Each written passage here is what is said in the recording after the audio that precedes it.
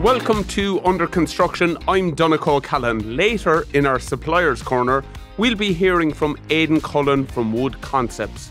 Thankfully, the barriers around chatting about our mental health have fallen, and what was once a taboo conversation between any of us on site is thankfully the norm now. To help us continue to break new ground and navigate the challenges in our industry around mental health, we are delighted to be joined by Richie Sadlier and Willa White. Lads, ye are very welcome to Under Construction. Let's get it done. Richie, you're probably blue in the face with this question, so Willa, I'll go straight to you. Who should get the Irish uh, soccer job? You know Robbie Collins. Who should get the Irish soccer job? I would give. Uh, I'd give Keane a go. Seriously? Yeah, I would. Yeah, yeah. It, it, it, can't be can't be any worse than what's out there in there. Yeah. I just kind of that, that's not a great argument. Couldn't be no, any worse. Richie, don't ruin this for us. We're going with pure fantasy. So who would be your new fella, Richie? I've no idea. Right, yeah, I wish okay. I had a better answer, but I don't know who the credible candidates are. I don't know who's affordable and available and who'd be doing it for the right reasons. Richie, can I ask a question? It's just mm. John O'Shea going into the role. Why why put a full stop on that? If you're going to give the guy a chance for two games, don't uh, like just for me. I would say why why would they say we're looking at someone beyond it? Just leave I, have I, a go. I think what they've done and we're trying to interpret what's going on in the, in the FAI based on very few statements, in fairness. Yeah. It's not like a, a, leaking sieve that it was over in previous years. But what they've said about John publicly is it's an interim appointment and he's not a candidate for the job, which is another way of saying he doesn't meet the criteria we're looking for. In layman's terms, he's not good enough at the moment. You would hope that whoever takes it genuinely, you know, it goes in with, with and, and not just a pie in the sky belief, but with, with, that it's based on something that they can go in and say, I can get a tune out of this. Yeah. Because in international football, you, you, know, you can't sign players, you can't massively change your squad. You can tweak it a bit, but you, you still have only a very small yeah, group of people you can pick. So hopefully, someone will come in and be able to take the group of players that are there to a level that we haven't seen from them collectively yet. Mm. And some of them are young lads that may just improve because they get more experience. Evan Ferguson's the obvious one. Um, so hopefully that'll be the case. Yeah. Yeah, and I suppose as a player's point of view, that if you play in the Premiership and you've got the rights to go and play for Ireland and you've got the rights to go and play for England, as an Irishman, I would be more inclined to go and play for England if I could. Jeez, Willa. No, but no, no, I'm saying. There's the headline there. No, no, that's it. No, Willa, you, you lost the plot. That's the social media clip right there. Actually, sorry, no, Willa, like get out. There, like, there's nothing. No, I'm saying, like, like if I'm a plastic paddy, if me, if my grandparents were uh, were Irish and I got you know, the go ahead to play. I mean, Ting done it. What was his name? Grealish uh, done it. Yeah, Rice done. So you're saying basically, if you were a player that had two options and you didn't have the allegiance you have in your mind at the mm. moment, you could see why someone would go like with why, Why am yeah. I going to be attracted to playing for Ireland? And realistically, and, and it hurts me to say this, the track record the last few years has been atrocious. Like, look, like you know, I'm glad. Listen, I'm, finishing, I'm going to finish on a high. I'm, doing, I'm going to finish on a high. I'm glad I was. A, I'm glad I was alive for Italia '90. Yes, yeah, here, here. and and I tell you what, here, in fairness fairness to Charlton. What age were you? I was 11. I was in around that, yeah. I was kind of 10, I, yeah. I was 19. I was in my prime. I probably could have gone on for the last 10 minutes. you should have used you, you straight in for Cascarino. I'd have played for Ireland back then. no, but uh, come here. No, I, I was 19 and it was, uh, I was living in London at the time as well. It was amazing. Ah, we're chatting uh, about mental health today. Yeah. You haven't uh, he- helped me in mine with with that opening comment, but just in broad strokes, lads, are we getting there around mental health? Or is the conversation going in the right way, Richie? Is as a an Irish public, are we more receptive to chatting about feeling a little bit down? Well, we're going to have a conversation now, which is going to cover loads of different topics, and I bet it's the kind of conversation that would have been fairly rare or not heard of at all if you go back 10, 20, 25 years ago. Definitely not. There wasn't groups of lads sitting around going, let's just kick around the topic of mental health. We'll share personal experiences. We'll talk openly about what we've been through for no other reason than we just think it's worth doing. Yeah. That would never have happened in the past. Like I work in the field of psychotherapy, so I'm in the kind of mental health circles for years. And so I started in 20, 12, I think. And back then, like there's even a huge shift in, in what I've seen. Like companies wanting to have mental health days or mental health talks or mental mm-hmm. health seminars in the world of sport. We talk about the mental health of the athletes as opposed to them being just highly paid lads that are there or women for there for us to shoot at them if yeah. they don't meet the bar we set for them. So it is changing in terms of conversation. There's a whole other chat to be had about the services and where we're at and what's needed. But I think in terms of people's openness or availability to have chats about how they're doing, I think we're absolutely going in the right direction. Yeah. Will uh, you'd find that? Yeah, definitely. I totally agree with what Richie's just said. And even if you go back forward or 25 years, looking at my father's mental health and the, the era and the generation of men that he hung about with, I mean, I never, none of my dad's friends went for runs or went to the gym or went sea swimming or any of the good stuff. I went to men's groups or spoke. I think everything was really dealt with a lot of the time sitting on a bar stool in the public. Mm. You know, people's dreams and ambitions, and you didn't really talk about your feelings. There was a there was a persona and there was a reputation and there was, you know, your image and your ego to kind of that you were a hardy kind yeah. of walking man. And if you did suffer with your mental health and you had stuff going on, I don't think the the, the help was there for it. I don't even think the vocabulary was there at the time to even call it that. Yeah, yeah. The no one would really acknowledge. I think I need to address my mental health because I'm a little bit off kilter, whatever. I don't think mm. people would have considered it in those terms. They just call you another point, get them another point of Guinness. Yeah. Be grand. You just good or bad days, yeah, you get yeah, on with it. Yeah. That was my sense of what that era was like. And, and I wonder what it was like for them to actually, for someone that actually was really suffering with their mental health, health to be able to get up in the morning and just kind of put their feet on the ground and go, here's another one of these days like that I'm going to really struggle to get through. Thankfully, that's changed. It, like that band aid of toughen up, get get on with it, that mentality, you know, get Willa another point, he'll be grand. That's mm. gone. It, uh, I feel now if you reach out, you will get caught. Yeah, yeah, definitely. The help, the help is now there. And the question is, do you want the help? And are you willing to ask for the help? And it's a lot easier, I find, with my personal experience, as much difficult as I thought that it was at the time, to go up and approach somebody and say, "Listen, I'm struggling. and I need to dig, I need to dig out here." Yeah, and and I think it's a brave man that goes and asks for the help, and and I think it's a it's a frightened and scared and confused man that sits with it on his own and thinks that he can sort it out himself because you can't. It, it, it's safety in numbers. I always say it's a lot easier for a group of men to push a truck than it is for one man to push it. If you've got people pushing with you and helping you and trying to resolve the problem with you, uh, the problem then kind of becomes the solution and you can move on and do something about it, you know? That point you make there about putting your hand up and, and saying, I'm struggling with be it addiction or whatever it is, mm. like it does require incredible bravery. Yeah, it, it really, really does. And I mean, I know for me, from my past, I know I suffered with mental health as a young man uh, really, really badly. Um, I, I, I've got a history of addiction, childhood trauma. Um, I've got an, I've got a, a, I suffer from what I diagnosed as generational trauma. My father suffered with trauma in his family.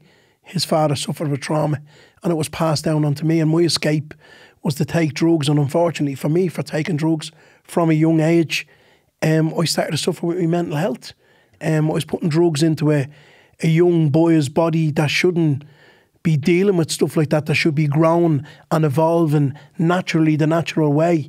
And I was putting chemicals into my body that were not only messing up my body, but more so messing up my head and messing up the growing and, and my words were just getting sent the wrong way and crossed the wrong way. And, and unfortunately for me, I ended up in three psychiatric hospitals. I ended up in London when I lived in London.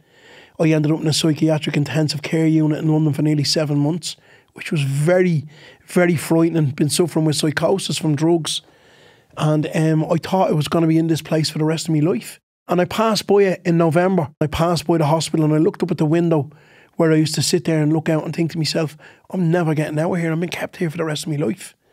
And then and then ended up coming home and then ended up in Dundrum Central Mental Hospital and then ended up in Vincent's in Fairview uh, Psychiatric Hospital as well. So it was like three times I ended up in these places and just still after all that hadn't got the help thing in me to say to people, I need help. Like I was on psychiatric daycare clinics and you know attending psychiatrists and and all that stuff and to come through it and get through it and to be able to sit here and be able to talk about it and and eventually somewhere along the line through my addiction being able to ask for help um, is, is probably one of the reasons why I'm sitting here. That's an incredible moment, like for you at, at that point in your life.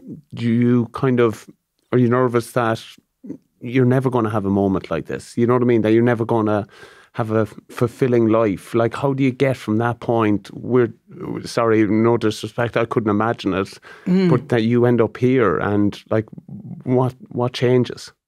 I think something changes inside each individual, and the changing moment, I suppose, for me, and I can remember it. I was in Mountjoy prison, and I got extradited home from England, and. Uh, I was doing five and a half years prison sentence with a review after three and a half years on terms and conditions that I looked after my my addiction issues and I got a moment of clarity one day sitting in my cell and I knew a prison officer and I said, I really need to do something about this. I knew if I got out of prison and I continued to do, you know, it's like that saying, you know, and I'm sure you've heard it, uh, Richie, if nothing changes, nothing changes.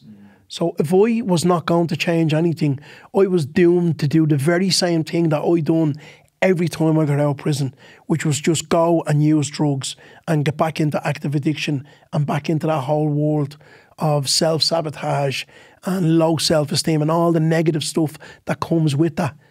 So I went out and I asked for help. I asked the prison officer, Mark Farrell, his name is, and I only met him before Christmas in Mountjoy and I hadn't seen him since. And the two of us met in the auditorium in Mountjoy and we broke down crying. He started crying and I found it for him, I found it a lot more difficult because there was prisoners off the wing that were there, and he was dressed in his prison uniform.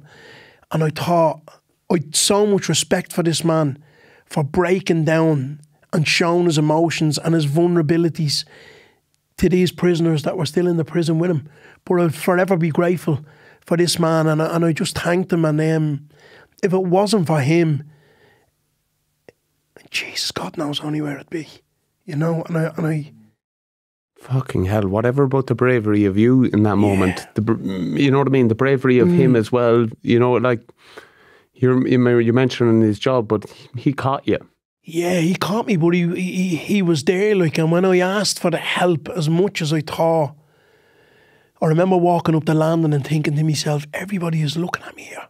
They all know I'm going to ask for help, and there was nobody could have given a flying mm. what I was doing. Like, but I was so self absorbed and self centered, I thought it was all about me. And that's what my addiction done, where I was a broken, broken man. And when I asked for the help, it was like a, a valve was after being released.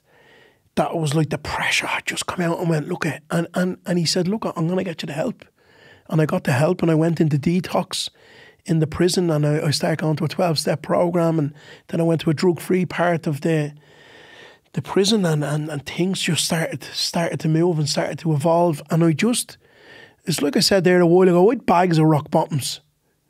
Like, you know, people say, oh, you've got to hit a rock bottom. Like, I mean, I had a menu of rock bottoms. And I mean, how many, you know, but I just knew at that time, it wasn't that, it was, it, it was like a moment of clarity where I went, you know what, you're destined for so much more than this. On the 4th of, of, of April this year, please God, a day at a time, I'll be 23 years without a drink or a drug, like, you know. So, and, and so much has happened in my life since then, you know. Good on you, Will. When did you start to get hope that actually being clean and sober and living a fulfilling life is actually in my future? Jeez, that's a great question, eh, Richie. Um, because you're describing a scene mm. or a life or a situation that's to most people listening go this is as bleak as this is the bleakest picture that's it and you're sitting here now as the healthiest picture what like it's a hell of a journey when I when I when I got out of prison eventually, I was I was with a girl um, who's the mother of me two kids, and she was uh, she was actively using for the first five years of my recovery, um, which was very very difficult, and she eventually got herself together and, and sorted herself out, and I think after them five years, I got that thing where I, I said to myself, if I can get through that, I can get through anything. Yeah. And and my whole mantra is every day, is that um, no matter what happens today, I'm not going to drink and I'm not going to use, regardless. You know, I, I I done loads of stuff in recovery. I learned how to play golf. I learned how to play squash, and I done different things that I always wanted to try. Stuff that I had great dreams and great ambitions about doing, and done a bit of acting, and ended up in a few things on the television, and obviously ended up doing the stand up and done a play all about my my addiction and, and, and with another guy who was like he he was an ex victim of crime and I was an ex criminal and we got this beautiful piece of theatre together and I've done loads and loads of stuff but what what I'm trying to say is that I have got no excuses to take drugs. I know now how to live my life without the use of a drink or a drug. Um, I lost my only sister um, in 2010 through through cervical cancer. My sister Susan, she died at 44 years of age, and that was devastating. Um, and I lost my father in 2016, and this was, a man that I had a lot of hatred for, but a lot of fear for. From still instilled in me growing up, but in recovery, I got to see a different side of him, and and I got to find out what it was like for him growing up in a family of sixteen children, um, in a two bedroom tenement flat in town where they were basically starving. I spoke to my uncle about it. And my uncle said that they used to eat the fruit out of the bins in the fruit markets, and I couldn't fathom that. You know, and he talked about his father, who was my grandfather, who I don't really want to talk about because I don't really think he deserves the airtime. It'd be probably the best way to put it. And I don't really want to speak speak ill of the dead either.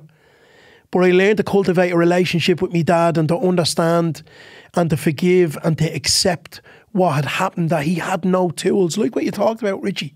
My dad didn't know what to do with his mental health. I didn't didn't know who to talk to or what to do. So unfortunately for him, he drank and was violent at home.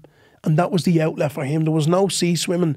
There was no um, you know, going and doing life coaching or mental health or being able to talk to a therapist or anything like that. And when he died, it was only his anniversary um, there a while ago. When he died, I was with him and, and, and I held him. There was only me and him in the hospice in, in Harold's Cross. And I remember him saying to me, The worst feeling you'll ever feel in the world is loneliness. And I said to him, Look, you're not going to be on your own when you die. I says, I'm going to be with you. Like. And it was the most intimate moment that I ever had with my father in all them years. And uh, I was able to hold him and I was able to love him. And and I was able to be present with him and and be true to me word and tell him, look at you know, you're not going to be on your own, like you know. And I miss him. I miss him terrible. I really do, like. And all you have at the end of the day is your family. I'm very aware of that. All over the years, the people that have only been there for me on the sidelines when things were good and when things were lousy was always me family, like you know. My friend has a saying: "How do you spell love? T I M E." Um, and Yeah, yeah. it isn't until you start hanging around with your own kids you, you realise it's the truth. You asked a while ago, have things changed? Like, mm. listen to him. Like, can you imagine this conversation or someone speaking the way you've just spoken as openly as that years ago? I, I, I, it was just, it, it wouldn't have They'd been. probably put you into a psychiatric hospital Yeah. if the truth be known. Yeah. Richie, on that, the acceptance side of it, not only from Willa there, just in, in Irish people, that ability to accept and be there to catch. I, I- I've, I've statistics here in front of me of research that Chadwicks have done, and it's in relation to the construction industry. 85% agree that most tradespeople are reluctant to talk about their mental health. That's what we're talking about here. Yeah. It's, it's whether it's a generational thing or a family culture or an era or whether it's an industry you're in or a job or what your perception of being a man is, if, if that's the limiting thing. But so many people can relate to that thing of going, I can't talk. I, ju- I just can't tell my mates what it is I'm going through. Can't tell my mum, my dad, my partner, my friends, my colleagues, my manager. I won't survive the consequences of them knowing. Yeah. Whether it's they'll slag me, they'll reject me, they'll break my confidence and tell someone else what I've gone through. There's so many reasons which are understandable in the mind of someone who's struggling. There's so many reasons that people hang on to say, I can't talk here because there's nobody going to catch me. No one will understand, or it maybe it'll be worse if people know. Yeah. Countless, countless, countless examples of the power of just that simple thing. I was just going, whether it's whether you're in prison and you say to a, a, one of the guards, or whether you're in work and you say to your colleague, whether you're at home and you say to your partner, in, in some ways the circumstances don't matter. It's when you can cross that line where you go, okay, instead of silently struggling, I'm going to share my struggles with someone because the potential for change. There's no way in the world you'd be sitting here if you didn't have no, that conversation. 100%. And I work in the construction industry and I see as a guy in recovery, the guy is coming in on the Monday morning or the Tuesday morning. Yeah, what do you that, see? I, I see desperation. I see lads that are afraid to ask for help. I see lads that are in fear of losing their jobs. I see lads that, like what you said, that are in fear of being judged, being laughed at, being called a clown, being called whatever. And I see that there's not, in my opinion, and this is my personal opinion, that there's not enough of a safety net to help these individuals in the construction industry. I think there should be more supports, and I know there is supports, but I think lads need to know straight away that if they go to somebody in confidentiality and say, listen, I've got a drink problem, or I've got a drug problem, or I've got a gambling problem, wherever that might be, I think that company needs to back that individually 110%.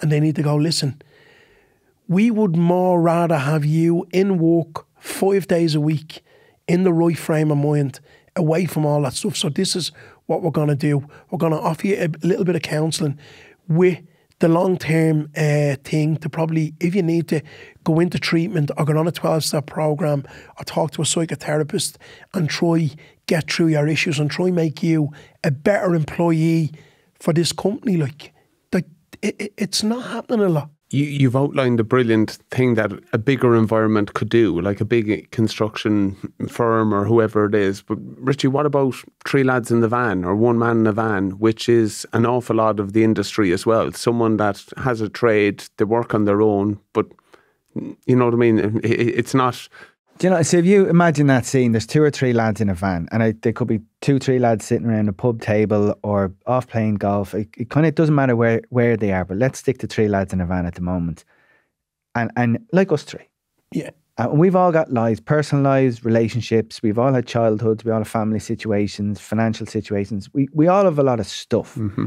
And and if I've got something that I'm struggling with or is keeping me awake at night, or I know that this area of my life could be going better and and but if I think you two have got everything sorted, or if I think you're just going to slag me, or if I've all I've heard from you all week is you slagging the fella who you read about on the news that went to therapy, yeah, and, and you've openly said, well, anyone who goes to therapy is X, Y, and Z. Well, I know you're not an option for me to talk mm. to, and if if all you do is mock people who are in any way struggling, yeah. or if you keep telling stories of lads who cried sometime and you hammer lads, well, I know you're not an option either.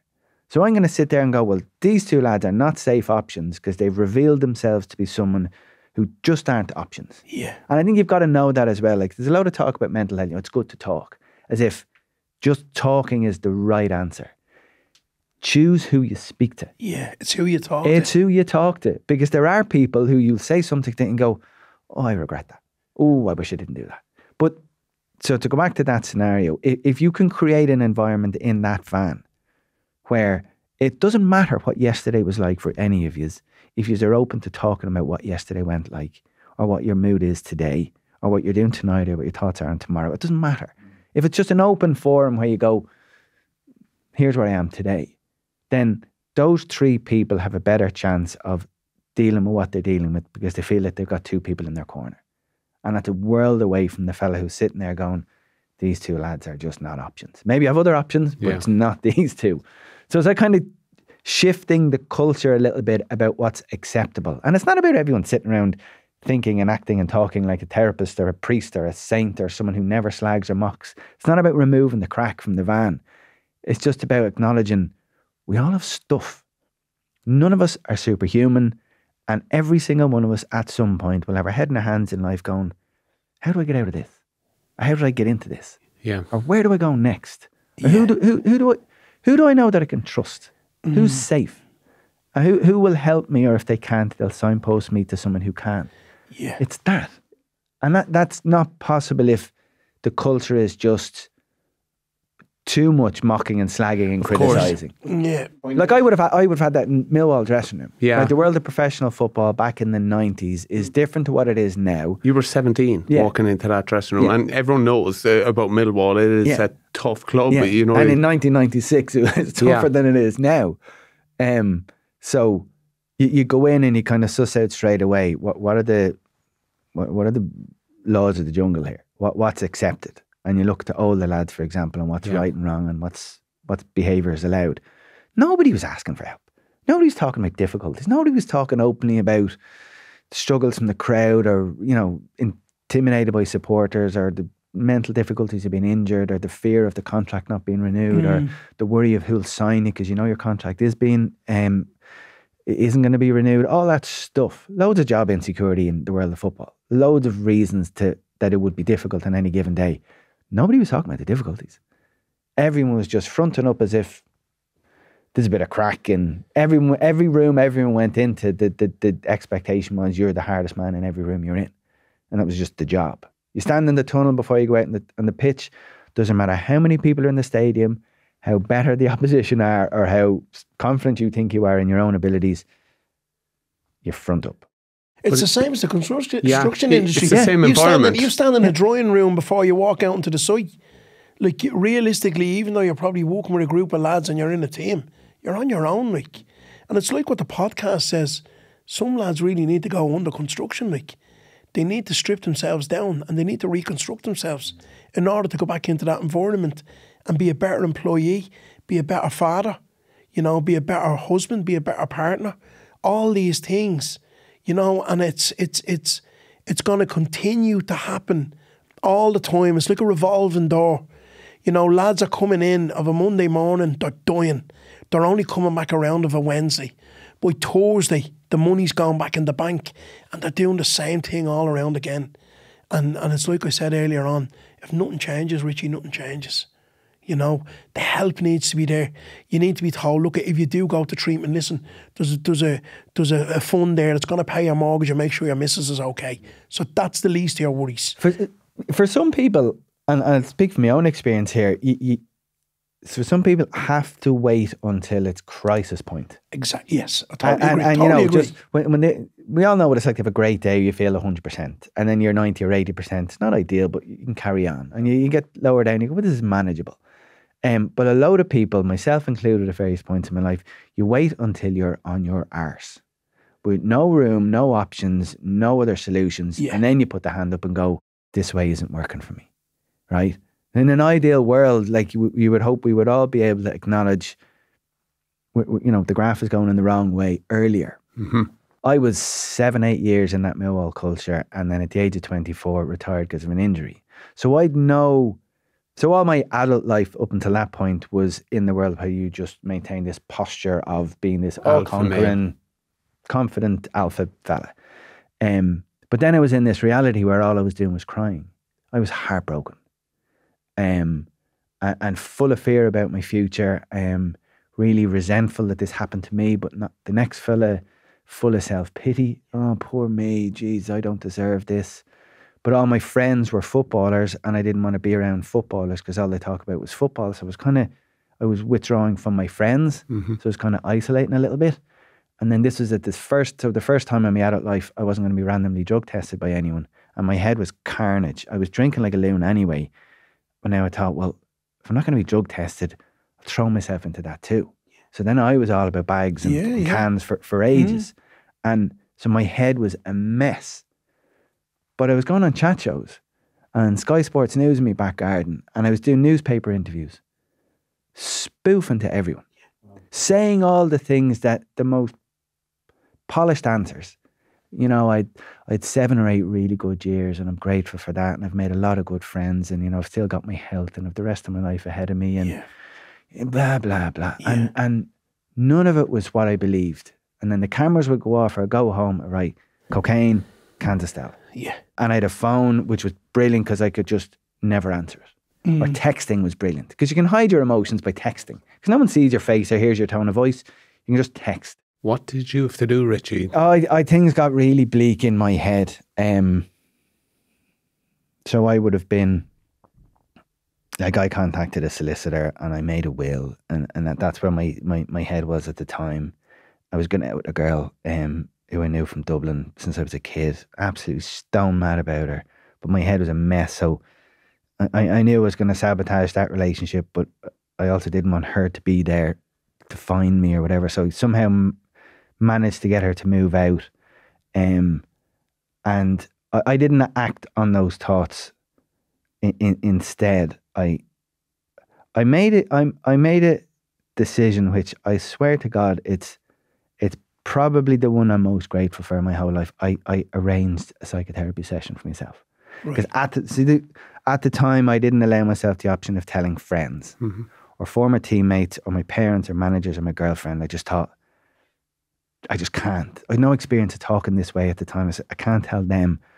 But if I tell a therapist, no one even has to know I'm going, let alone know what I'm saying when I'm there. Legally, yeah. she can't say yeah. anything. All right, she's bulletproof. Mm. So I went there, and and some it was weekly, sometimes twice weekly, um, and then the first time I was crying in front of somebody. Uh, never done that before, and started giving the honest answer when someone would say to me, "How are you getting on today?" Never done that before. And then it just, it just helped. Yeah. Can't put my finger on why. I was still a former footballer. I was still a 24, 25 year old that had no idea what was going to become of him. But it helped and it stabilized me. And instead of looking solely on the thing that wasn't in my life, I was able to appreciate there's possibilities there and what to bring into my life. I wasn't back to 100%, and I was still drinking heavily and the drinking and the drug taking got really bad then later in my 20s. But for the second time then in my life, I did the, the, the most straightforward but life changing thing when I was 32. I put my hand up and asked someone to give me a hand and try and stay off drink. Um, because I tried for years to drink less or better or mm-hmm. safely or manage it or or a different drink. Different drink. Oh, I won't. I, I, I, in my teenage, I won't have cider doesn't agree with me. Yeah. Then I won't have this, doesn't agree with me. Won't have this, don't agree with me. So I'll just have Guinness and Jack Daniels and that'll be it. And and it took to the age of 32 where I got to the crisis point again. Where I was like, okay, my ways are not working. I just need to ask for help. I need just to find someone who's been in my shoes, who's gotten out of it, and see if they can help me with that. So I started getting access to 12 step programs and meetings and other people who were just able to just guide me and help me and kind of give you a bit of direction. All that. I was crying out for it. But I'd come from the background I'm from, which a lot of people listen to this might be similar, be like, but we don't ask for help. Yeah. We're lads. We provide help. Yeah. We support other people. We don't ask for support ourselves. Mm-hmm. We, we're, we're just there. We're dependable. We're reliable. All the things that I thought you had to be like the definition of a like same in a rugby player, a, a footballer, you're you can handle pressure. In adversity, you're the one you want beside you. Mm. you. You know, if you're in the trenches, you, I want this guy next to me. And all of those kind of analogies and things conjured up the kind of person I thought I needed to be or I had to be, which is a million miles away from the person I was. Mm. I was a mess. Yeah. I was broken. I needed loads of support. It's like it's like you've got a bag full of masks and you stick one on each time you meet a different person. That's all it was. You get lost in your own identity. You don't know who you are, and that's what recovery was like for me as well. Like I was in the contemplating stages of going, who who am I? Like I didn't know I didn't know who I was. You know, I knew I wanted to stop taking drugs. I knew I wanted to stop drinking. I knew I didn't want to take my life anymore because I got a, a, a lust for life. I always hear that thing of people in early recovery going, "Oh, what, what am I going to do if I don't drink or I don't take drugs?" Mm. And I'm like, I wish they'd bring another day into the week. I've got so much to do. Like, there's so much. I, I remember being in one, one meeting in, in my first couple of months, and I genuinely felt this at the time. I was single, 32. Um, and even back then, I would love the idea of being a dad one day, and you know all, all that stuff you see in, with other people, and, and things working out well on telly for people. I remember sitting there going, I'm never going to have sex again. I'm, because how can, how can you do any of that sober? How do you go on a date sober? Mm-hmm. Who'd want to go on a date with anyone who's sober? And what, what, what reason do you give as to why you're not drinking if she asks you? Yeah. Do you tell her? The then- truth. Do you lie to her? And then you're telling people that you don't drink and they're looking at you like you have a disability. But it's, it's back to the question I asked you earlier. Would you have ever thought you'd be in a chair like this with the head you have now back in your darkest days? I didn't either. Never. I would have been at scenarios where if you'd have told me in my mid 20s, the day I walked out of the Millwall physio room for the last time, you know, your, your life is going to, you know, it'll have its challenges, there'll be loads of twists and turns, but you're going to get to a point where you'll sit in a chair and you'll talk comfortably about how you're doing today to anyone who asks you. And be comfortable in your own skin. Yeah. I would have gone, no, that's that's not my future. Yeah. But it's just these simple steps of just initiating a conversation with someone at the right time. Yeah. Going, here's what it's like being me. Yeah. And then that can go in so many different directions. And and the right person too, Richie, isn't it? Yeah. I don't mean to sound disrespectful in any way, but I I do have memories of teammates that would have come to me and been would have opened up and saying, I'm struggling and like the environment, like the site, like the the dressing room, big European Cup weeks, you're saying get your hard hat on and get to work. Yeah. You know what I mean? Stop showing a weakness. You'll bring us all down. I feel real bad over that, but I didn't have the skills Yeah. to be able to to catch or to support. I hope this isn't contradicting myself. Sometimes that's the appropriate thing to say to somebody. Is "Ok- okay, you're dealing with this. I know you're dealing with this, but there's a job to be done, and we need to collectively do the job. But We'll let's come back to this conversation. Yeah, But there, there is absolutely a time and a place for giving someone some kind of hard truths and go, listen, you're needed today. Mm-hmm. We need you today, and if it's if you're up for it, let's go and do it. But what you've just told me, this can't be the last conversation. Let's Yeah. bring this up again because Yeah. it sounds like this is more than a conversation. This is more than just a one-off event where you say what's going on for you, and and because that then that process, like when I went to therapy, I had no idea what was involved no skills of talking honestly about how I felt. But you just, it's like an exercise in faith to go, okay, well, this has worked for someone somewhere. Maybe it'll work for me. Yeah. Or you go to meetings with other people who are in recovery. No idea why this will work for me, but I just know it works for others. So you hope it'll work for me. Yeah, It's like if you sit on the sidelines, you're not going to get your game. Like, yeah, you know, you've got to get up off the bench and you've got to walk onto the pitch and you've got to tell people, listen, of course. I'm in a bit of trouble here. Yeah, And like, and I totally agree with what he said about you saying to that lad. Sometimes when you're in that zone, you've got to tell people, look, eh, th- this isn't the time or the place for that. Like, it's not that you're dismissing them, or it's not that you're telling them, I'm not helping you. yeah. You're just saying, you know, this isn't the time hmm. for that. You The, know, the, the honest truth is, though, I wouldn't have followed up. And not being harsh, I would have, uh, I would have thought, and wrongly, I know that now. But it, when you're young and you're in it, you're just thinking everyone's got to stay tough. Yeah, but isn't the it, herd isn't it, falls. yeah, but if don't you, isn't it great that you're actually even able to sit here now and admit that Yeah. and be able to be accountable and go, "Do you know what, I could have done a little bit more, 100% or I could have. done." But but this is what we're saying.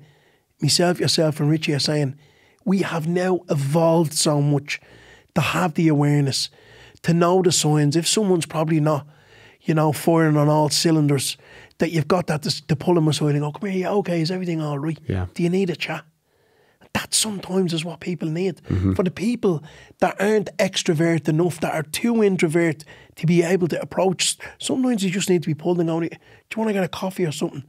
And when you show them that you're there and you give them the shoulder to lean on, you know, and you hold a hand for a while until they can walk on their own and you can let their hand go. Yeah. It's just what they need, like. Because I think one of the things that a lot of people who are in in a in a in a bit of a hole think they think, well, I'm the only one in this, and and, and everyone around me's got sort. Everyone else in the dressing room, everyone else in the canteen, everyone else in the van that I'm sitting in has got it sorted, and it's just me. yeah, Like according to this, sixty-two percent say they've noticed others on construction sites that are struggling with their mental health. Like that's more than half. Mm-hmm. Like it, this is so common. It's it's not like a niche conversation we have having about an experience that only a tiny amount of us Yeah. know. It everyone knows what it's like to struggle. Well, here's everyone. The, here's the thing, Richie. Why should people on a construction site be stuck in a hole when the site's full of ladders? Do you know what I mean? Mm, I think that's fucking very, very true, isn't it? We've all got a hand to pull people Mm. out, like, you know? like a lot of a lot of people ask me when I wherever I'm doing talks or whatever, they'll say, well, what, what do you say to someone if you know they're struggling? Uh, Like, how do you start the conversation? How do you get them to talk about what's going on with them? And I think on one hand, you have to accept that maybe they don't want to talk, Yeah. or maybe you're not the person they want to talk to if they do want to talk, Yeah. or maybe you're choosing the wrong environments to bring it up. So mm-hmm. your timing is off. So maybe that's that's a thing as well. But one of the most effective ways that I know of how to get someone else to open up honestly about what's going on for them is if I talk honestly about what's going on for me.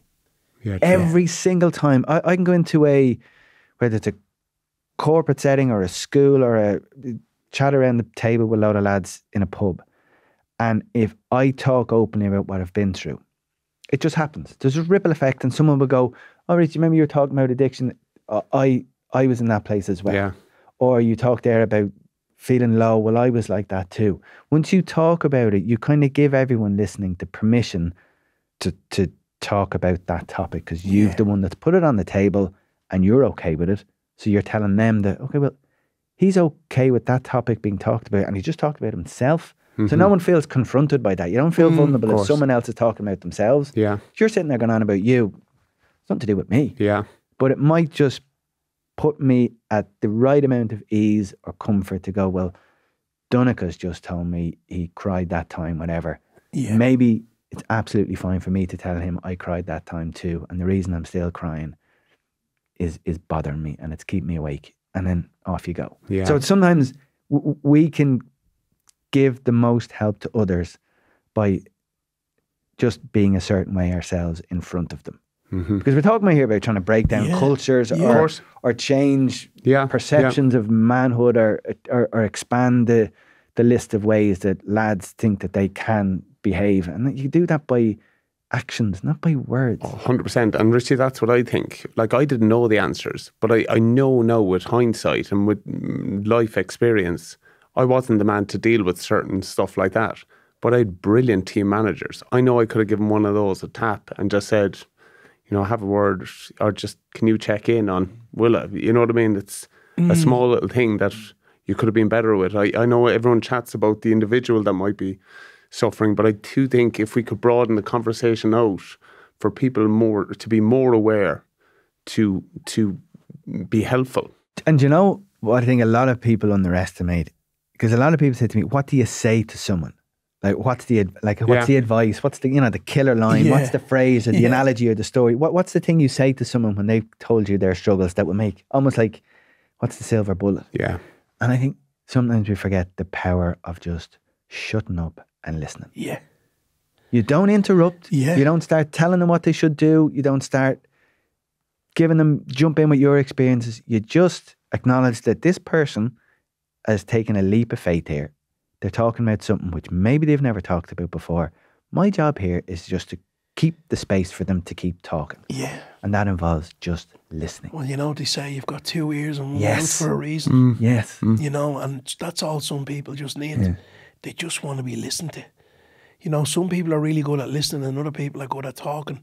But when people need to talk and they're talking, just shut your mouth and nod mm. your head and acknowledge that you're listening to mm. them and make eye con- contact with them and let them talk. A- And if you think you've something useful to say, then say it. But if you think you don't, and someone else might have a better role than you in all of this, suggest that person go and speak to them.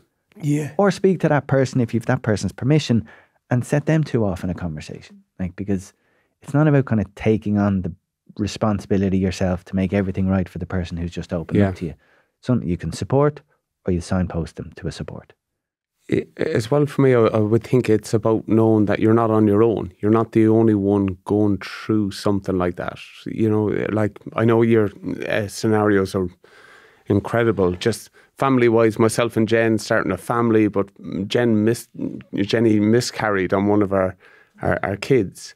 But I'll never forget. I went into training and a brilliant team manager, who's passed away now, Jerry Holland, grabbed my elbow and he was, "Are you all right?" And he, he saw, he knew something was up. So I spoke to him and, and he was there, listen, you're not the only one going through this in the environment at the moment. And over the course of, say, the next three days, loads of my teammates are coming up, just give me a tap. Listen, I know what you're going through at the moment. We've just been coming through it. Mm. And all of a sudden, I went from having this, all of my own thinking of us, you know, it was just myself and Jenny going through this. Yeah. To realizing, oh my God, Yeah. this is way more common than I would have even ever given appreciation for. Yeah. And so many people can relate to that. That when you go through something, you think "N- no one else knows what this is like because no one else is going through this, and then you say it, and then you mm. realize, wow, I'm wrong. Like, Yeah. there's loads of people. We we the same. We we Yeah. M- Fiona had a miscarriage. We were years trying to get pregnant. We were doing fertility treatment, and again, this is a topic that I wouldn't have thought. Ask me in my twenties. Will, would you ever talk openly about the difficulties that yourself and your wife are having trying to get mm-hmm. pregnant?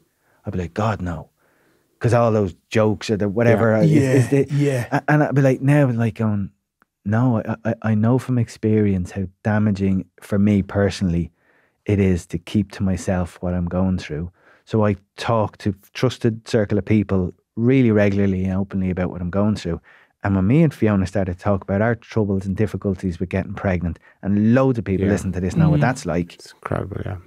But until you open up about, well, I'm in this boat, you don't realize that others have the same experience as you, and by you sharing yours, you actually benefit from theirs. Well, uh, could you tell us about the 12 step program a little bit? And I, personally, I don't know it as well. Of course, I have the uh, yeah, knowledge, uh, but like first and foremost, before I even say anything, I mean, twelve step programs aren't for everybody, you know. So I think it's important for everyone to kind of to know that. I think whatever works for you and keeps you away from your poison, Mm-hmm. mine being drugs.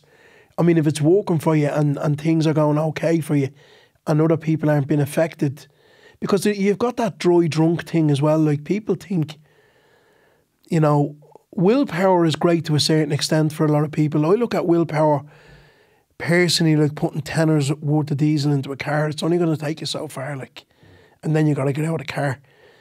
With the fellowship for me in a 12 step program, I've got friends and I've got people that are like minded and are like me and have been through the same stuff that I've been through and know how to live life on life's terms that have dealt with loss, that have dealt with grief, that have dealt with losing jobs. So if I need to find out, like when I lost my sister, I, I spoke to lads that had lost people in their family, and the last thing I wanted to do was use or take drugs. And but it, it, it's just I always tell people about twelve step programs is that you know the difference between it's it's not a religious program. A twelve step program is a spiritual program, and the difference between spirituality and religion for me is that religion is for people who want to go to heaven, and spirituality is for people who've been to hell. And I've I've been to hell, like, and that's I like that kind of twist on it. I'm not saying I'm not a religious guy. I have got a faith. I do believe in God, but I mean, your higher power can be your mother that has passed on, or your brother, or somebody, um, or it can be the group in itself. Just something that's a power greater than yourself, you know. So uh, I don't look at it as a chore anymore. I still go to meetings. I still help the newcomer. I still have constant thought of other people. And um, I just try to be selfless a lot of the time and, and try giving myself to other people. But like as I spoke earlier on in the podcast, I need to make sure my own glass is full before I can start giving of myself to other people. But I find that when I do give of myself to other people, it takes me away from myself sometimes, which is a good thing. It's a great fellowship. It's it's worldwide. I'm going to America to share my experience, strength and hope in February, on the 28th of February next year. They're flying me over and they put me up in uh, California at some convention. So I'm looking forward to that. Like, you know what I mean? That would never have been possible realistically if you'd have told me, you know, 25 years ago that you'd be sitting in a room with Richie Sadlier and Donncha O'Callaghan talking about men's feelings and, you know, I'd be going, would you get the bleeding boat out of that, you know? But it all That's it- truth. it, all starts with that conversation by going, I need help. If I- everyone's everyone's journey involves that. 100%. We all in, we everyone has the the war stories and most all people in recovery have memories and experiences which they would give every, anything not to have had. yeah, yeah. of course. and, and there's a ripple effect and they've caused difficulty and distress and pain trauma in some cases to loads of people in their lives so there's all that but the the the, the healing and the recovery and the growth and the development all of, all of that stuff that's Yeah, available to yeah. people and loads of people all over the world go from being active addicts and alcoholics to, to being in recovery, it all at some point involves them going, I need help. Yeah. Richie, I might come just back to you about it. Like you put your hand up, you seek help, but maybe the support structures that are in place, like you'd have a steer for there, honest, would you? I, I have enough conversations over the years of whether it's a company or a football club yeah. or rugby club and say, you know, what do we need to put in place for people or, or where do we direct them to? And I think you can put the best services and resources in place, but if the culture isn't there to help a person come forward and say, I, I need access to that service, um, or they don't feel as if they're going to be supported, all the services in the world aren't going to aren't going to work. But th- like, I think first place, we all have a low a, a GP at any point you can sit down with your GP and discuss what actually is going on. And if there's other support groups, if there's more kind of deeper health required, counselling, therapy, like there's there's there's so many services all over the country for that. Um, but it comes back to that that thing of going, here's what it's like being me today, and I'm struggling. Mm. And social media is a massive thing for a lot of people as well. I, I, have used in really positive ways. You you you can you can see posts or content from people who are dealing with what you're dealing with or they've come through what you're currently dealing with. And, and you can link in with them and they can give you, I have loads, I'm sure you're the same, mm. contact with, by loads of different people who just gone, heard you talk, I'm in this, do you mind having a chat? And then, and then off you go there. Mm-hmm. So social media can be used in loads of really positive ways, but it's also, there's a whole other side to it as well. It can be really, it, it can it, it can really heap on a load of difficulties to people who are in distress already. Yeah. Um, okay. But so the services are out there. The main kind of the message is is to to find the wherewithal just to begin the conversation, and and, and just just to, to just to be able to say, you know what, I'm actually worth this conversation. I'm actually I'm done with struggling. I'm done with suffering. I don't know how better or how quickly my situation is going to improve, but surely it's got to improve from this. But it starts with a conversation. Well, uh, from that moment in the, the hospital, you must be so proud of yourself for everything you've gone on to do from from there. You know what I mean? Yeah, yeah, I am. I, I really am. Sometimes I don't take time to kind of acknowledge or see how far that I've come. Do you know what I mean? But when I look back, I mean, I remember celebrating my 50th birthday. I'm 53, like in June, and um, it was COVID when my 50th was on, and I'd, I was going to walk the Camino with my daughter, myself and me, my youngest daughter. I'd planned, you know, we'll go over and do the Camino, do a week, and my daughter would be social media and phones and all. I said it'd be just a great opportunity.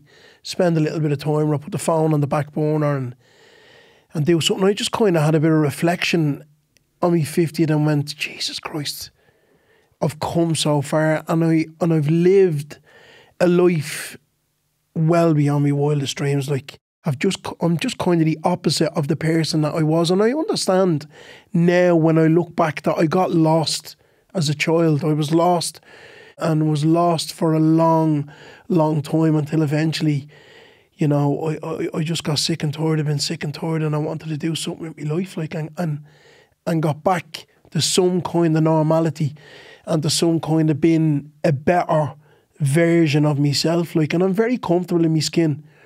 Which, because for so long, when I was caught up in active addiction and taking drugs, I would let people literally wipe their feet me back, you know, and I don't do that anymore.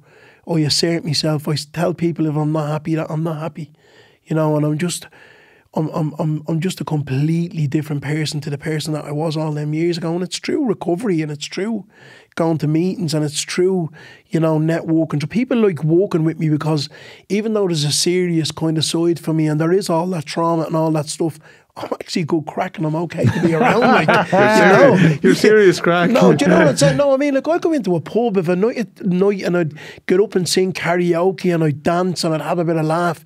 Like it's not kind of oh you know I can't go in there because I don't drink. Mm. I just don't drink because I don't. I choose not to drink. If people want to have a drink, have a drink. Mm-hmm. Like don't be thinking because I don't drink. Oh he doesn't drink. Don't have a drink. I'm okay with that. Drink just doesn't agree with me. Like do you know what I mean? So I always say to people, if you think I'm an idiot sober, you want to see me drunk. So uh, it's safer for me and for the world that I stay away from it. You know. Well, what's coming up? What What have you on? Uh, I'm going to be doing a Chadwicks ad with, with Joe uh, McGuckin, who I love and admire, and I think is a really funny fella. Funny man. Yeah. And uh, a very clever writer and a great actor as well. So I'm really looking forward to that. Come here, if you, I'm I'm on in the Laughter Lounge regularly once a month, and come here, you never know where you see me. I should have been. in A program that's on Netflix at the moment, The Gentlemen McCoy Ritchie. Yes. I actually auditioned for that. I didn't get the part. No way. So uh, yeah, I'm watching that at the minute, and it's it's really really good. So give it a watch. Yeah. And and Richie, for you, you've teamed up with Chadwicks in around mental health. Will you tell us a bit about it? I have, yeah, delighted. They kind of asked me to, to team up and get behind a, a, a campaign called How's the Head. It's kind of all about raising awareness of the mental health concerns that a lot of people in the trades um, industry would have. And it's to kind of promote, like we've been doing in this conversation, to promote the benefits of people in the trades industry speaking to one another about what's going on for them. Um, Chadwick did research, as I was mentioned earlier. 43% of people said that they do have mental health struggles. And as I said earlier, 62% of them have observed others who are struggling. So this isn't this isn't a thing that's going to impact a small amount of people. This is a, a huge amount of people. So the benefit of a campaign like this, I think, is, is really obvious. Sky's the limit. Yeah. Maybe maybe two or three pe- people in a van are listening to this, yeah. and, and maybe one or two of them will, will relate to something that they've heard us speaking about. And maybe when the podcast goes off, they'll just start talking about the thing we've just talked about. Yeah. Because I think that's that's how I think that's how the change that you asked Yeah. about at the start is, is brought about. It's just kind of one chat at a time. It's a ripple. Like. It's ripple. That's all it is. yeah. So you're not looking for one big slogan or one big. ca- It's just a couple of lads chatting Yeah. that encourages other lads to chat, or one lad saying something that recur- encourages the other two to say it too, Yeah. and that's it. Yeah. And the help is there. Hmm. You know, the help is there. Like, I mean, if anybody even sees me walking down the street or, you know, wherever, if they, if they, I'll, I'll talk to anybody and I'll help anybody. And it's okay to ask for help.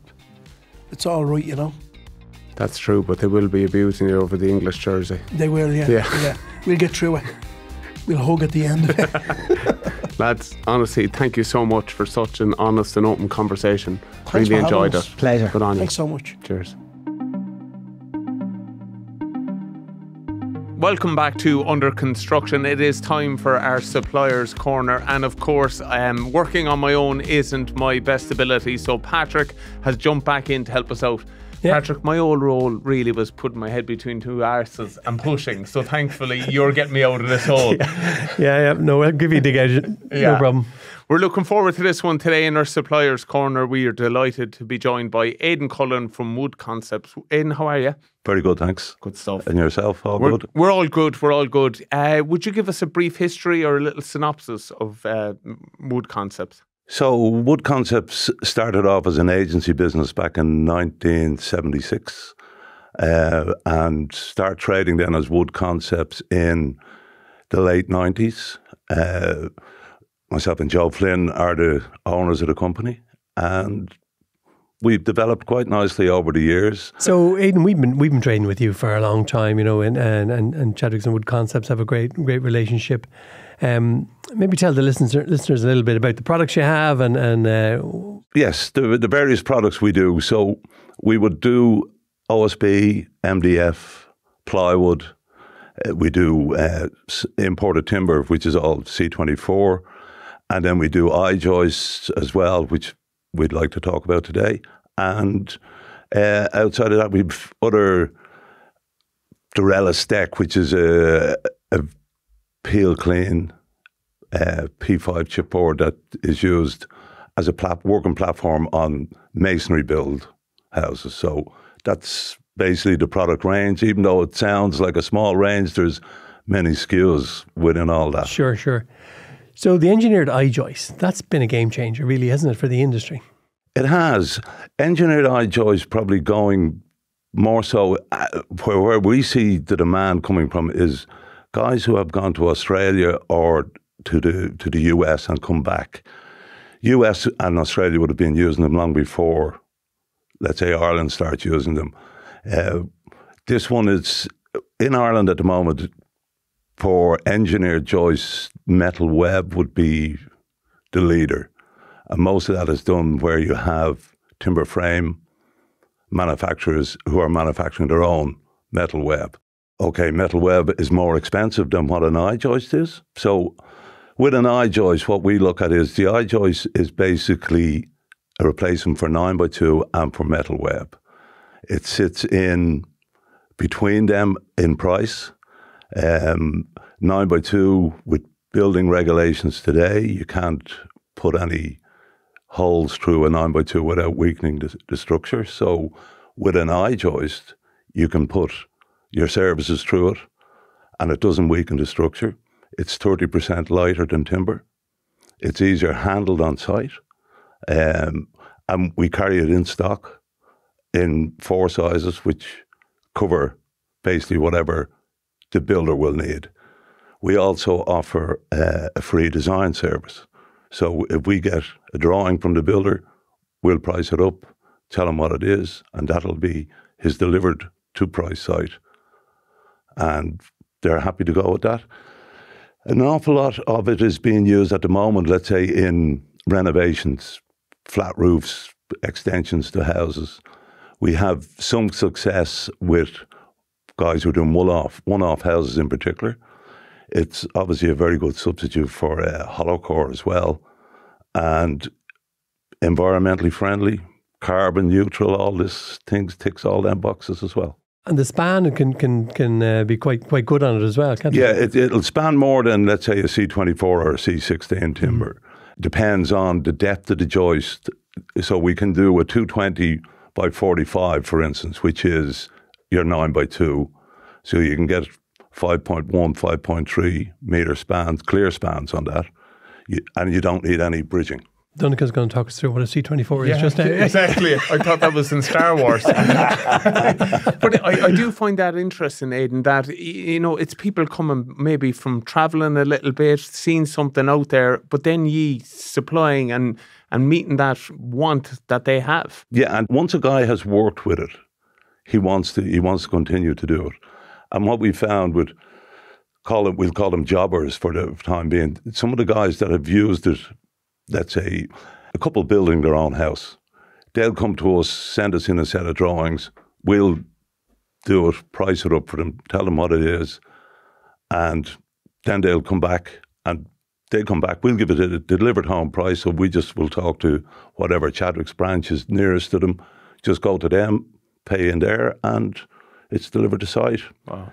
And it's you know it's it's a good service, yeah. but it's we have to sell it all the way through. But the design end of it really helps them because their engineer can sign off on it. Okay. And obviously, we won't do anything till the engineer signs off.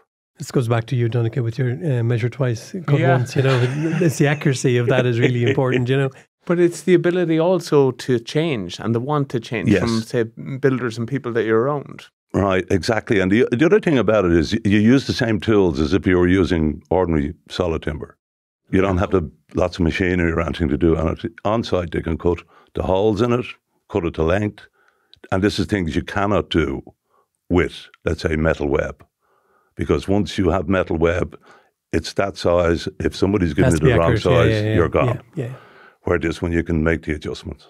We did see a period of inflation uh, post COVID, and. Uh, uh, it seems to me, you know, that that that seems to stabilise now. We, are getting less of the the inflation that we had in the marketplace. Would you are you seeing that? Yes, we, prices have stabilised. Uh, I would say stabilised less in sheet materials at the moment. Um, timber prices still a little bit under pressure. I think it's just an, an oversupply domestically because most European manufacturers will be looking to try and move prices back up. They think it's at their lowest level. But that's all right. They want to move it up. It's it's what's the guy willing to pay for it here is is, is where the problem is. Sure. I, th- I think what, what consumers need and even the, the builders who are doing quotes, they just want some consistency, some stability. They don't.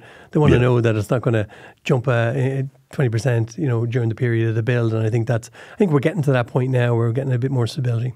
Yes, no, I, I would agree with you that we haven't seen a change in prices for, let's say, on sheet materials for the last four months. Okay.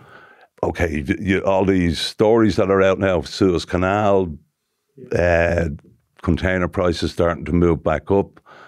Um, we can do nothing about it. Shipping lines decide they're going to increase prices. It's for everybody, uh, and they will affect the price if that continues, or they start sailing around the Cape of Good Hope, and then you end up in a situation where you have 12 days or two weeks longer sailing time, yeah. and then there's a cost for that as well. And then your stocks, the issues with stocks sure, as well. Sure. Optimistic for the future for the construction industry? Yes, I think there's. We certainly need to build more houses, um, and I wouldn't be the first one to be saying that, but uh, I think we we'll get there. I'm not sure if a lot of a lot of what we see, see and here is this modular build and offsite and everything like that, but we are not involved in that side of, side of the business. That's more or less Chadwick's end of it to to get these guys. The timber frame is certainly the biggest builder at the moment. So them guys are, are, seem to be busy, but a lot of them are quite flat out at the moment, and sure. no extra capacity there. Yeah, no, for sure. Aidan, thanks a million for coming in, uh, sharing with us the, uh, the history of your company and, and the great products that you have. Great to see you. We'll see you again soon. Thanks, Patrick. Cheers. Thanks, Donncha. Thanks a million. Thank you. If you have been affected by any of the issues discussed on this podcast, you can find support at the samaritans.org or call 116123. Construction workers can also contact lighthouseclub.org or call 1 800 939122 or text hardhat to 50808. Otherwise, contact your local GP. If you are outside the Republic of Ireland, please contact organisations in your country.